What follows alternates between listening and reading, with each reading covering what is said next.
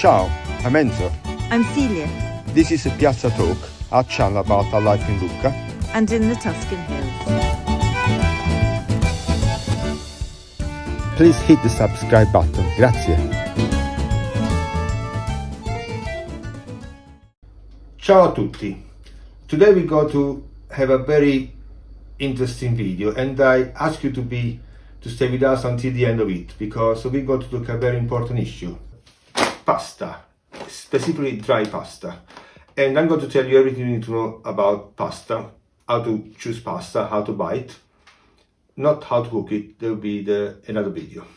And you follow me until the end, you'll be an expert on this subject because I'm going to tell you everything you need to know about pasta. First thing, how pasta is made.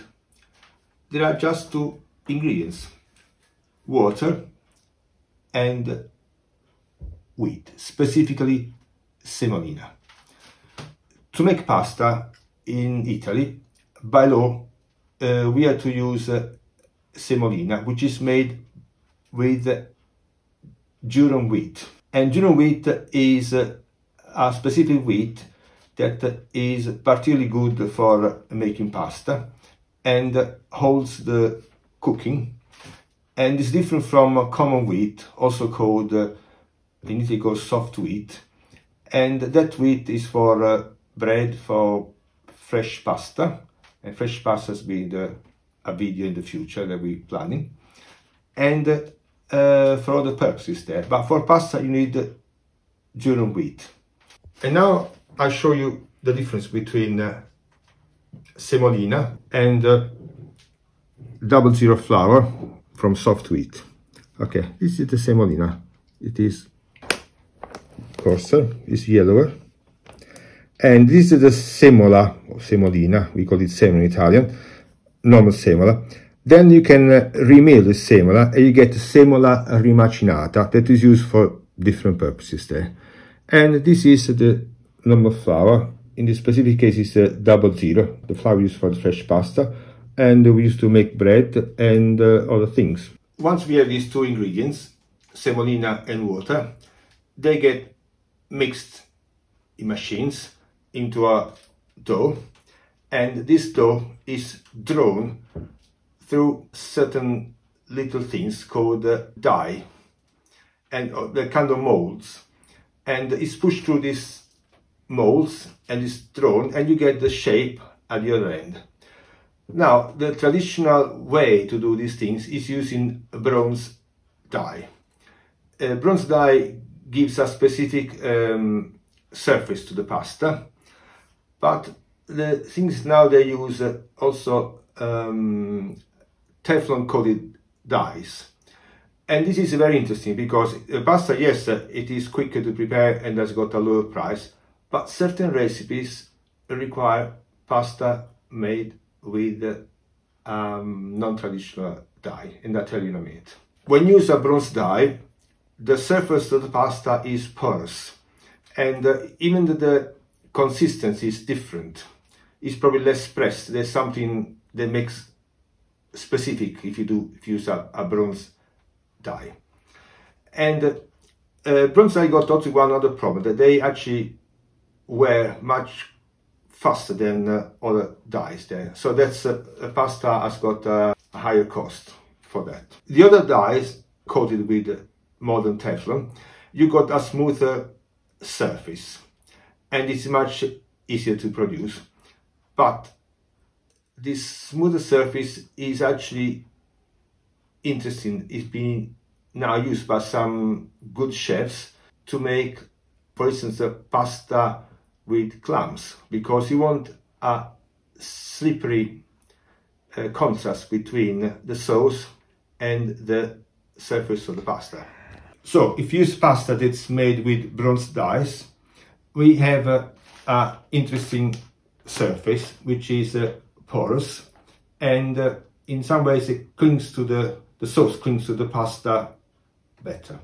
If you use more modern dies uh, you got a shiny um, um, smooth surface and the pasta uh, the sauce uh, uh, clings less uh, efficiently with that Now, in order to do that, in order to make the sauce clinging to the pasta, uh, some manufacturers introduced, and has become almost universal now, uh, rugged pasta, rigata. For instance, one example is this one. They create to make the sauce cling to the pasta. Uh, top chefs they reject this idea and they still stick to traditional pasta that to be liscia. And this is an example of uh, this is traditional pasta, bronze die. you can see the surface is porous.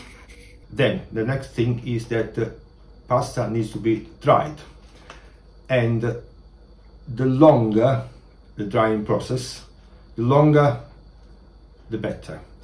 It also means that if you dry pasta at a lower temperature, you need more time and the pasta is much better. So you need to check on the package if they say in Italian lunga essiccatura, that means long drying time. And this long drying time, sometimes it's also stated on the package. For instance, this is very good pasta. And they say 18 hours. Now, pasta can be dried as a far up to 36 hours, but this is already a good uh, time. Also because if you dry the pasta with uh, um, higher temperature, uh, and obviously a shorter period, so it's less good. So you need pasta, long drying time, that in, uh, and a low temperature. This is the most important thing. Another thing, now pasta is made uh, in a very protected environment, but in the past, pasta was actually dried outside, and there is a, a town outside Naples, which is uh, one of the major uh, places, I mean, mm, where they make high quality pasta. It's called the Gragnano, and part of this town was built taking into account the direction of the prevalent winds.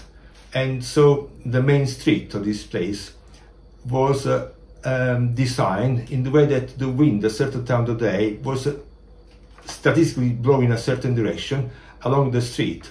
And so the pasta makers were on the side of the street and they were hanging the pasta. And uh, incidentally, uh, there is also a movie by Sophia Loren called Francesca e Nunziata that is about uh, a woman who inherited, I think, a pasta factory. We've been to the to the shop, the store, and we have bought some pasta, but also we have a lot of pasta in the cupboard. And I prepare here a selection of uh, pastas, and I can show you how to buy pasta, what to look for the small print, and how to read them in a packet of pasta. That's the most important thing. Okay, first thing we got is pasta here. Pasta De Cecco is uh, very good. It's made in Abruzzo and uh, it's dry for long time, 18 hours. Uh, I found that the pasta cecco is uh, available in many countries outside uh, Italy. The small print here, and they said protein 14%. So this is a very high level of protein. It's very important that you choose pasta with high level of protein. So that means has to be at least 13 and a half. But 14 is what we normally find here. And they also say acqua fredda di montagna, cold water from the mountains. So water is a very important part of uh, pasta making. This is another uh, brand, Voiello. It's an historical brand as well, from another place near Naples called Torre Annunziata, where they make uh, traditionally high quality pasta. And you can see that looks so wonderful, rugged and beautifully made. Again, we got the back here, and the protein says 14%. Now, this is interesting pasta because they say the wheat is 100% Italian and they use this wheat called Aureo. And now I want to talk about this pasta molisana that also uh, I like this very very much.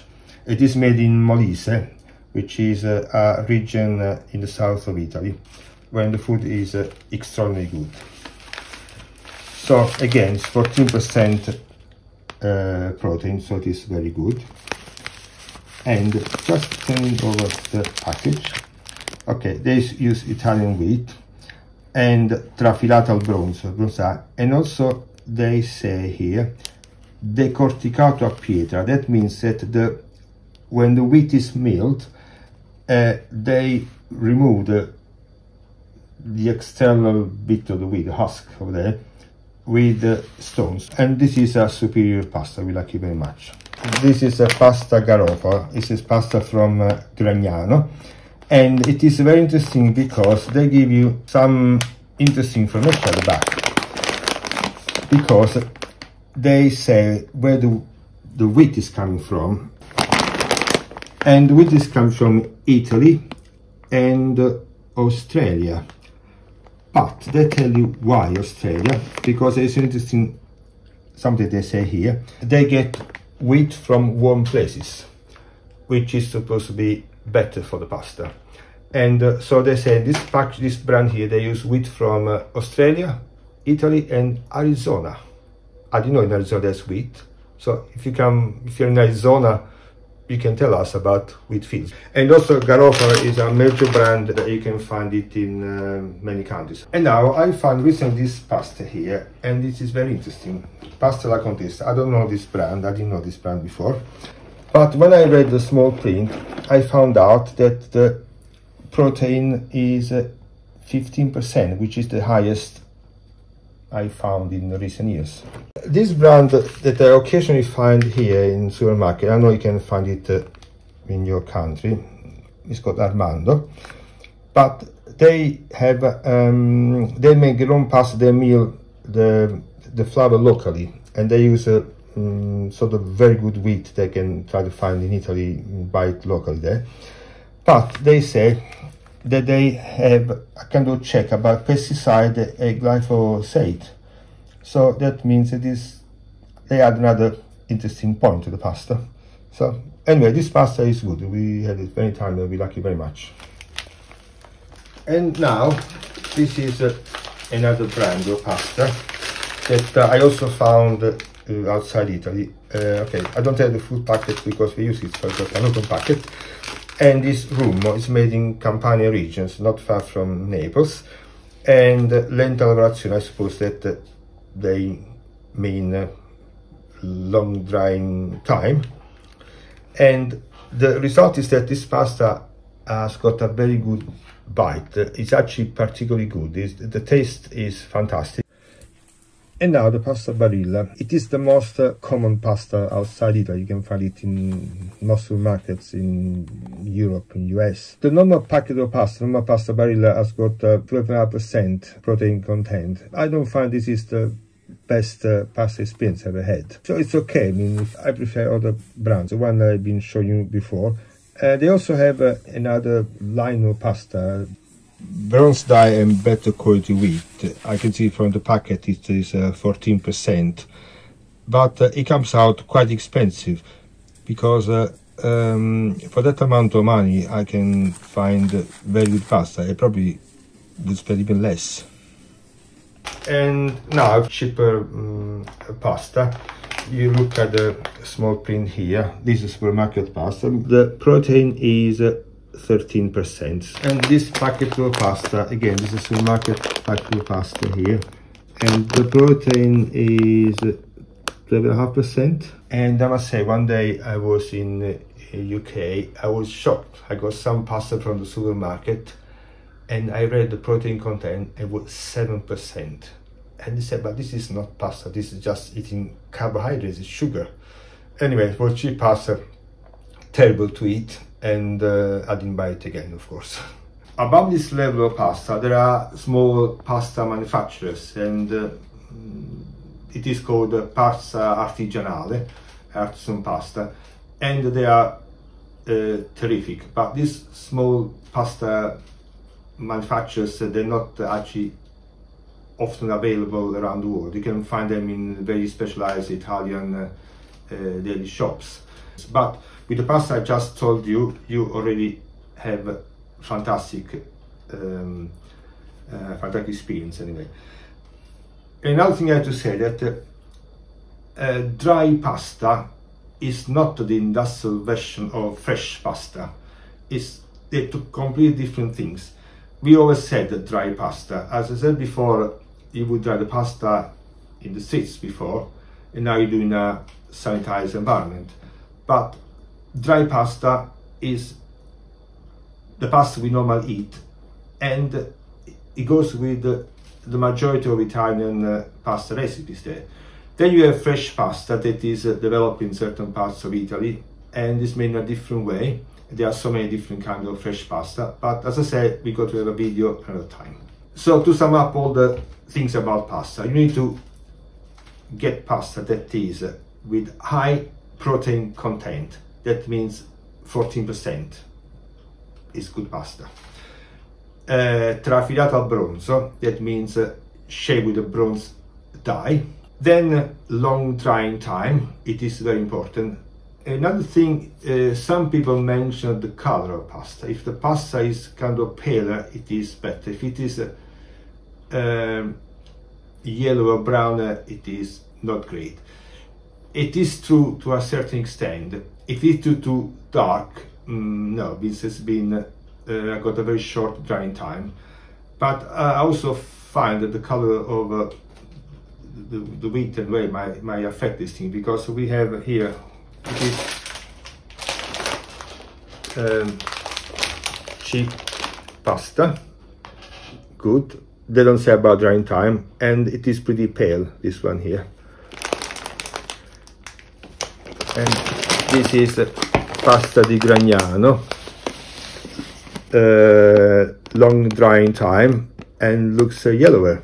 Okay when you buy pasta look at the packet and uh, take a few minutes to read the small print so you can uh, work out uh, the best pasta you can buy. Good quality pasta probably made is one of the most delicious things one can eat at least in my opinion i hope you enjoyed my video and uh, if you like it please put a like and uh, uh, if you're not subscribed please press the button and spread the word on uh, how to buy pasta.